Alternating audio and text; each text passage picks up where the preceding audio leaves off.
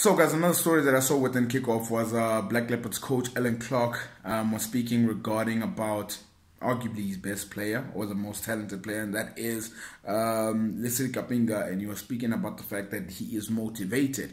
Um, Kapinga is motivated to give his all to the team, and uh, if he happens to leave um, at the end of the season, then at least he must pay his respect to the team that brought him to the premier to the Absa Premiership uh, in terms of giving his all once the season resumes, if it does resume. But I gotta tell you, the story regarding Lesedi Kapinga, let's not forget he was linked to Mamelodi Sundowns. Um, I thought that that was almost a done deal of some sorts, but it looks like it hasn't. And also, here's another thing for me. Whether Black Leopards stay up or whether they don't stay up, I don't see Lesedi Kapinga staying at Black Leopards for next season.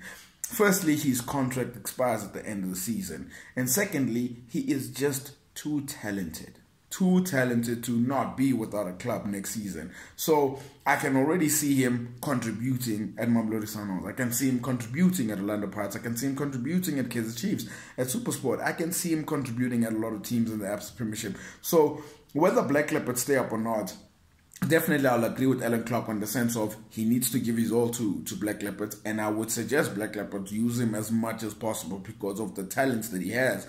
And he is for me arguably the most gifted player within that within the Black Leopards team. So they must use him as much as possible. But I feel come into the season once his contract expires I don't see him staying at Black Leopards and he is just way too good for another club to not want him. So I just see him playing for another club next season and not like Leopards.